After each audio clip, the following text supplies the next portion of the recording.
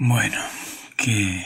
Bueno, ya sabemos lo que ha pasado. Bueno, ya me habéis eh, comentado mucho de que le hiciera un retrato en pixel art. Ya lo estaba preparando, solo que no he tenido mucho tiempo este fin de semana, así que en realidad he ido a ratos libres avanzándolo y ahora que tengo un rato para grabar, ahora por la noche, vamos a acabarlo de finiquitar y a comentar un poco sobre, sobre Akira Toriyama.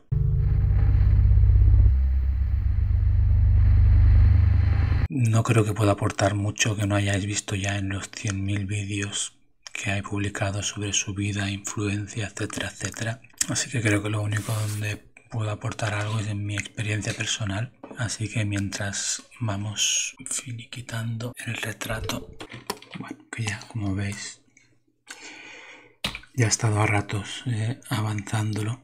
Ya solo me queda un poco hacer algunos detalles. Bueno, Akira Toriyama.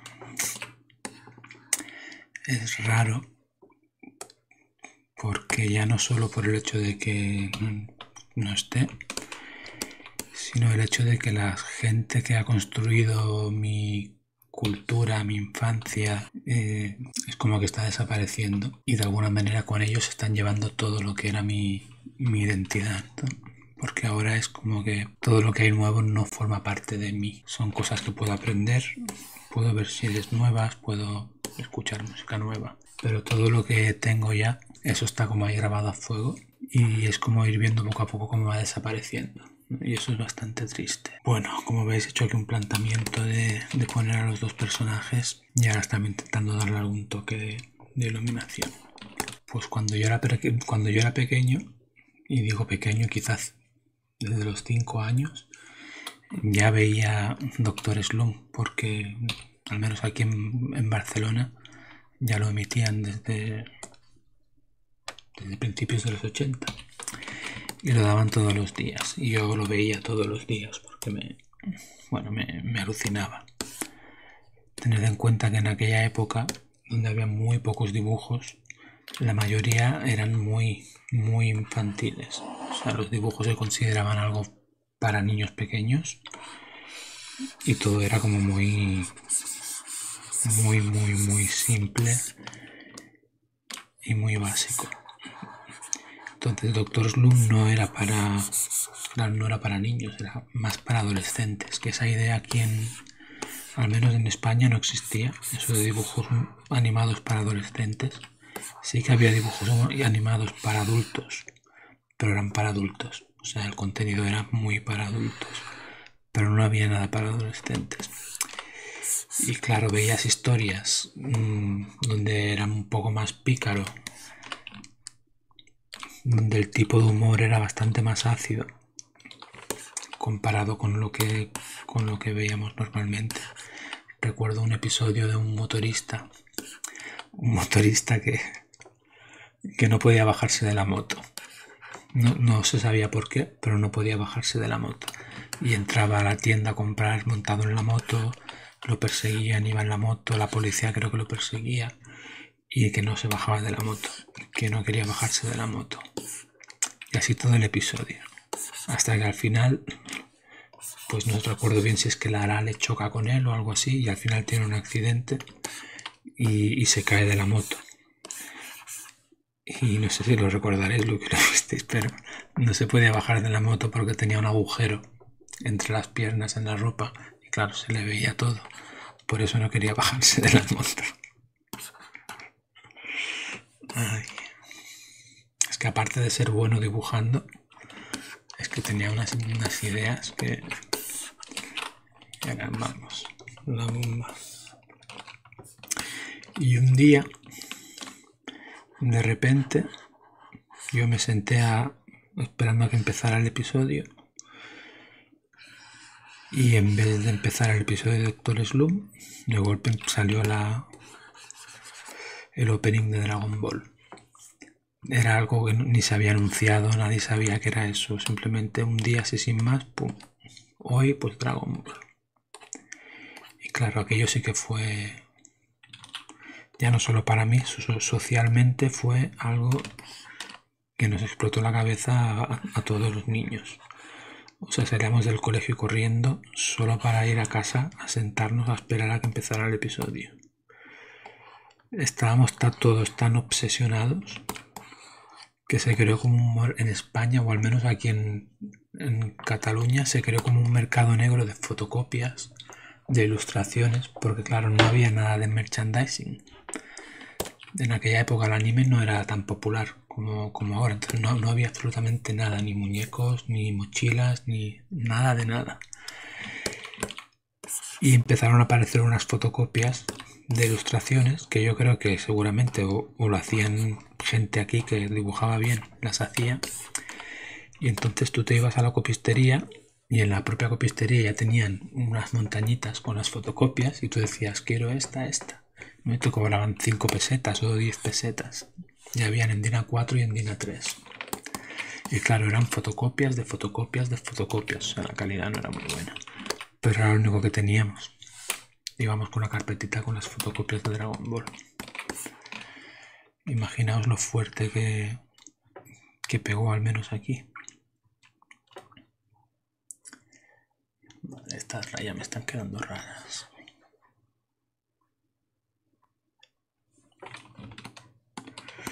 Tampoco quiero copiar literalmente esos reflejos, pero si no lo hago igual no me va a quedar demasiado bien. Así que no me voy a complicar mucho.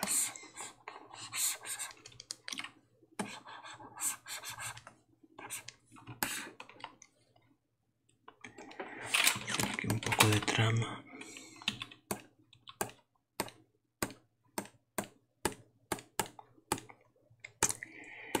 Y la primera, para mí Dragon Ball es la primera temporada de Dragon Ball. Cuando Goku era un niño y era más de aventuras, donde cada episodio empezaba y terminaba con una historia. Luego ya empezaron a meter pequeñas sagas. Recuerdo la, una que me, me alucinó mucho.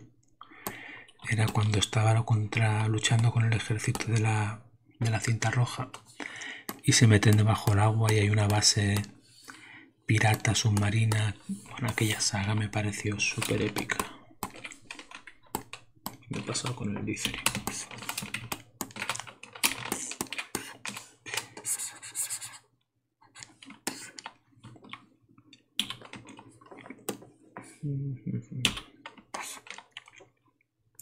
Y después ya Dragon Ball Z,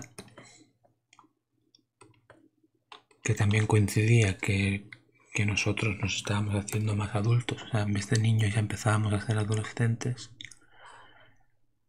Y además era gracioso porque claro, Goku también se había hecho como más adolescente, poco a poco. O sea que íbamos como a la par, ¿no? La audiencia y Goku íbamos a la par.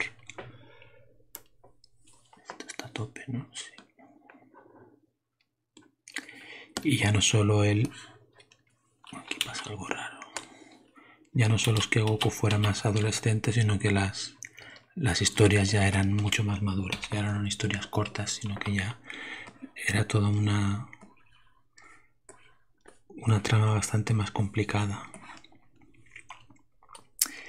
Ya empezaban a haber muertes, porque en toda la primera temporada nunca moría nadie.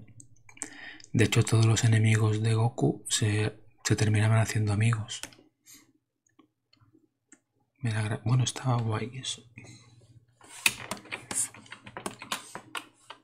Eso estaba bien. A partir de Dragon Ball Z ya es cuando se vuelve más...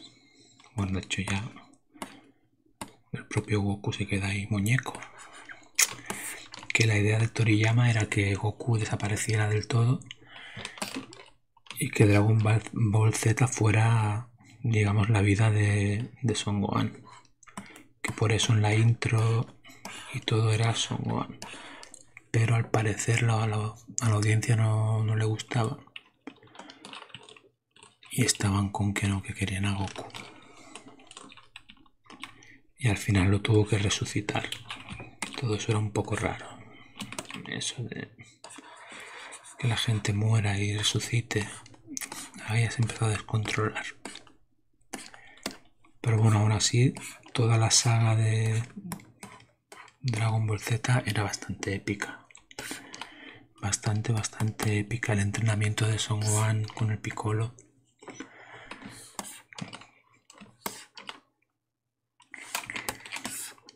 Luego con el toda la saga de Freezer, que ahí se les fue un poco de la olla, pero bueno, claro, es que si no, de alguna forma tenían que seguir. A ver con este aquí. Y la saga de Zero Black también fue un poco rara porque era como que daba muchos giros con todo el tema de los viajes en el tiempo, los androides que primero eran unos androides, luego eran otros androides. Y luego resulta que al final no eran los androides, que era el célula, que también era un androide porque venía del futuro y toda esa historia. Bueno, estoy haciendo spoilers igual. Bueno, tendría que hacer spoilers, pero bueno, ¿quién no ha visto Dragon Ball Z?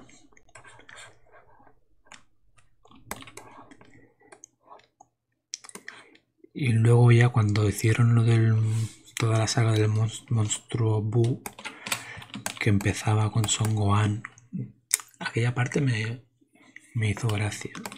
Cuando Son Gohan como que se va a estudiar, se echa novia y toda la historia. Eso era, eso estaba bastante guay.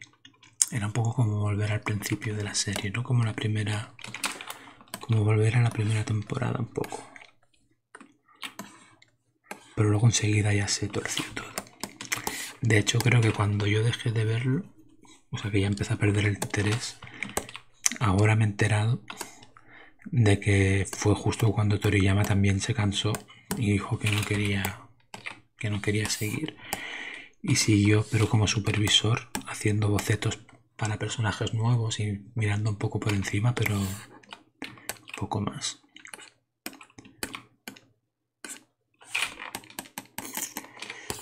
Vale, esto está más o menos, sí. Por aquí. Tampoco quiero que quede súper realista. Así que, bueno, ya he hecho los efectos de luz. No sé si se lo tendría que hacer a Goku también.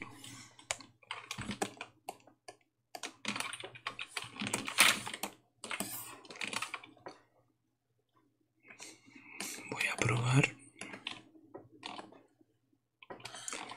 aunque está complicado porque la forma que tiene el pelo no es como que pegue mucho con este efecto de luz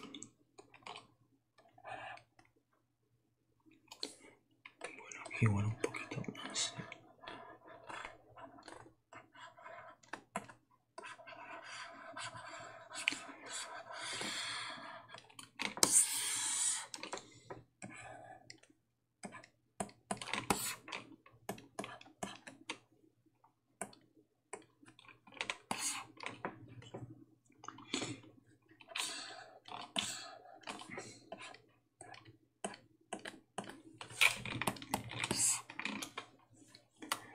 Voy a poner aquí trama o luz suave.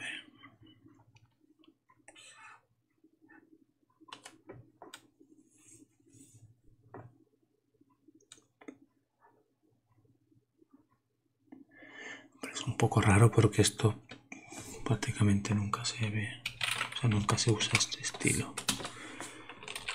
Pero bueno, vamos a... Por otro lado es más lila, pero ese sí que no creo que vaya a cuajar.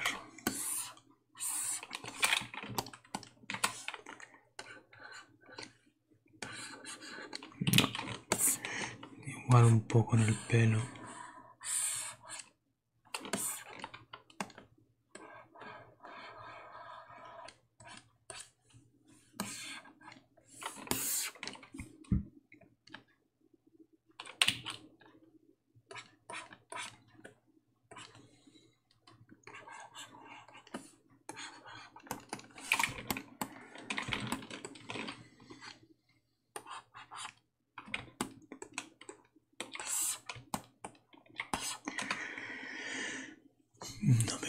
nada. Igual aquí.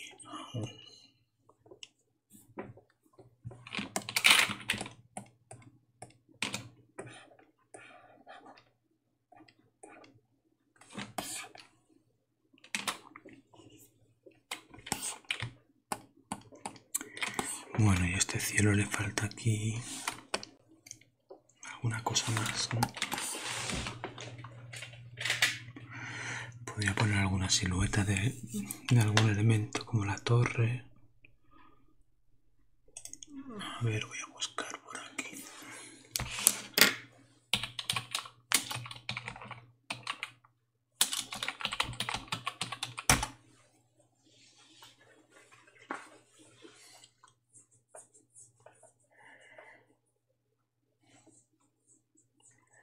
Es esta la torre, sí.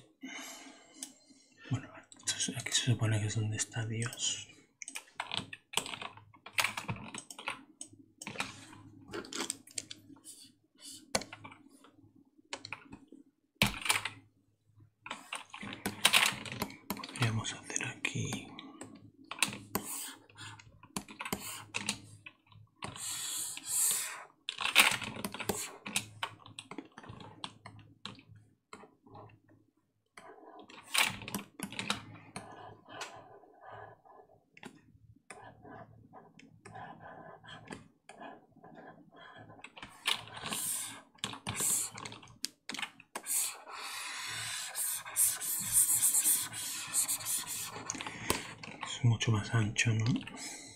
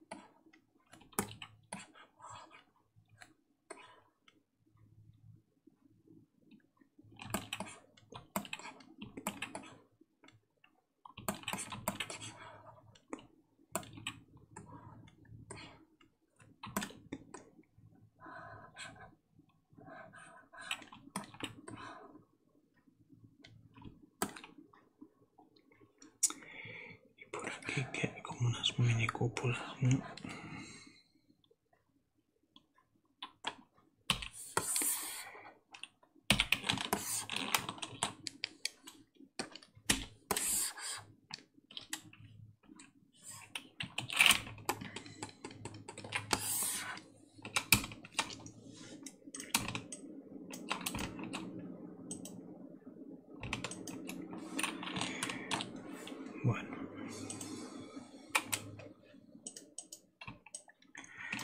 No sé qué pasa, pero no me deja mover esta imagen.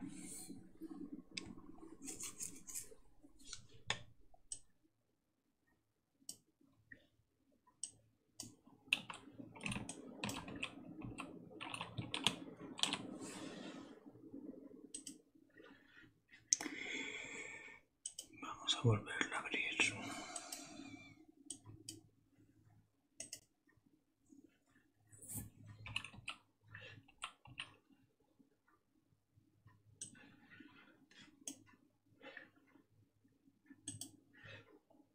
tenía aquí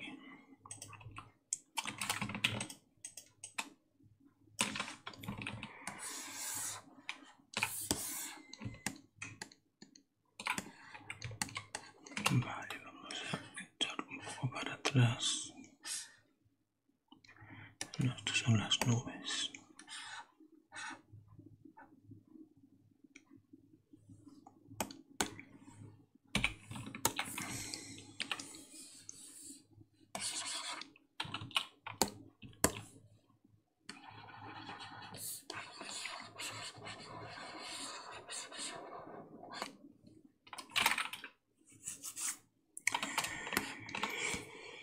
da un poco de gradiente.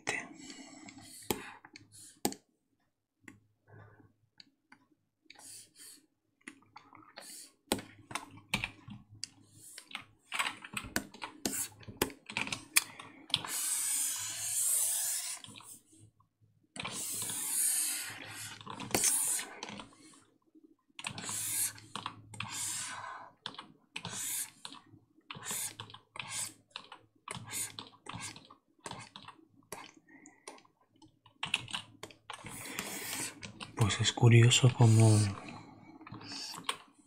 obviamente he estado todo el fin de semana pensando en, todo esto. Y, y con el tema de la violencia, porque claro, todo giraba alrededor de la violencia. Al principio era de buen rollo, o sea, se peleaban y se hacían amigos y todo eso, pero no dejaba de ser violento.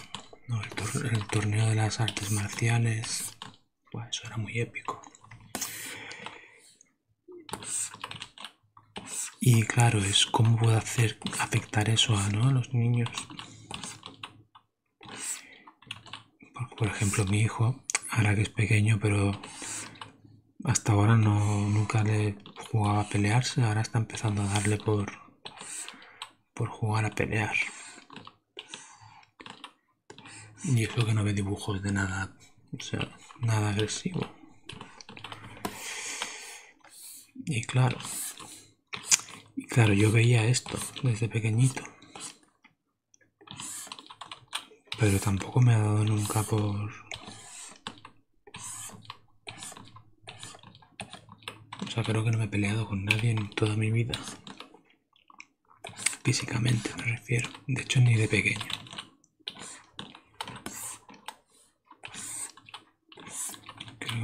Con las rayas.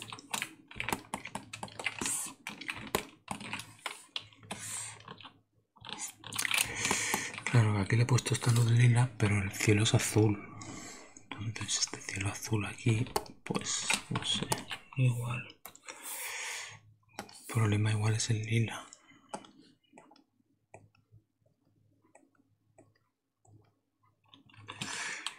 Eso, claro, lo he hecho antes del fondo, tenía que haberlo replanteado todo desde el principio, así que igual mejor lo dejo todo azul.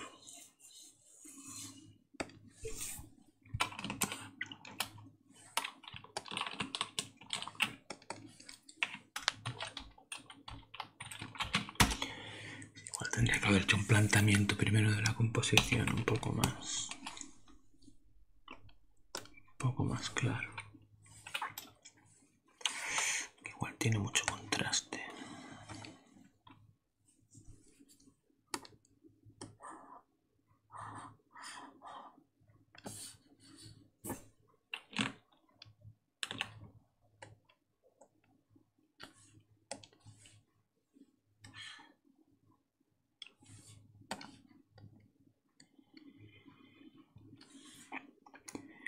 Igual es el fondo.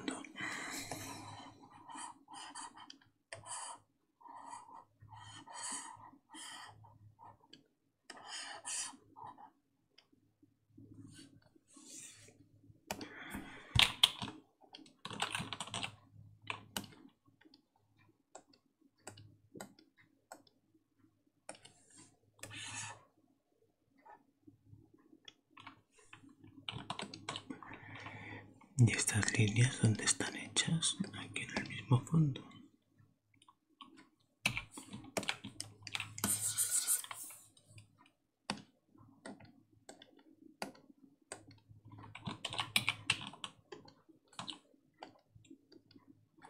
Uy, pues esto no debería estar aquí.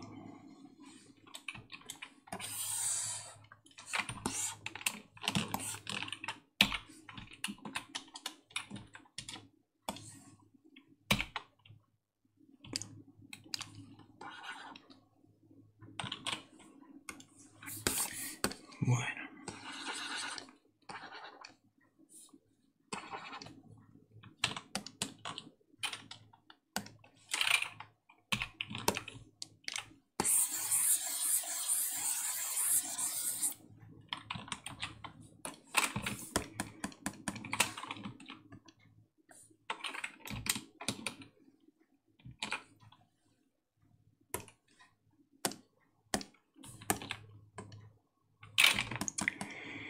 Todo lo que vino después de Dragon Ball GT y todo eso y así que ahí ya ahí ya desconecté del todo. Estaría me gustaría poner la firma suya. Pasa que no sé yo en píxeles voy a buscar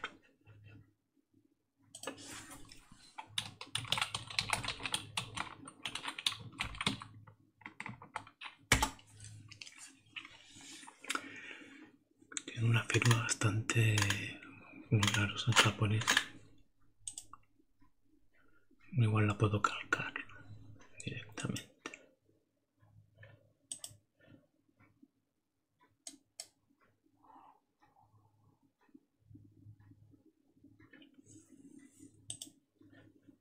Está en la Wikipedia. Bueno, voy a probar ponerla aquí encima a ver cómo, cómo queda.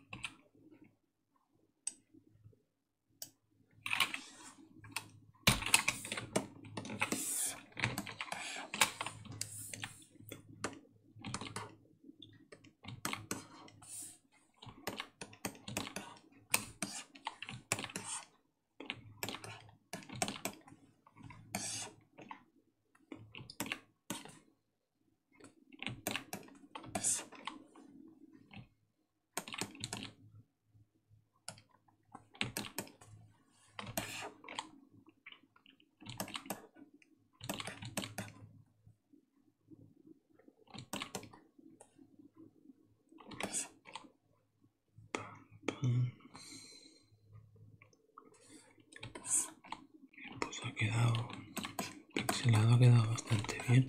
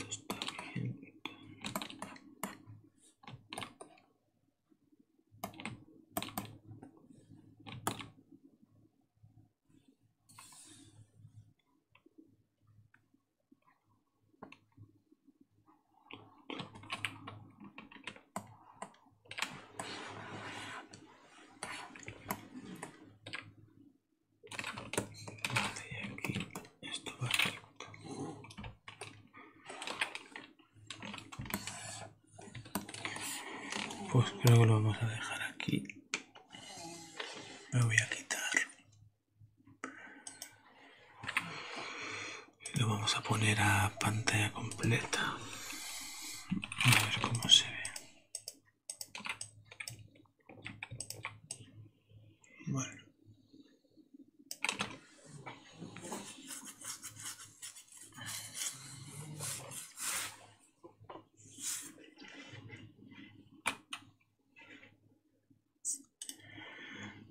Pues hasta aquí este pequeño homenaje nocturno.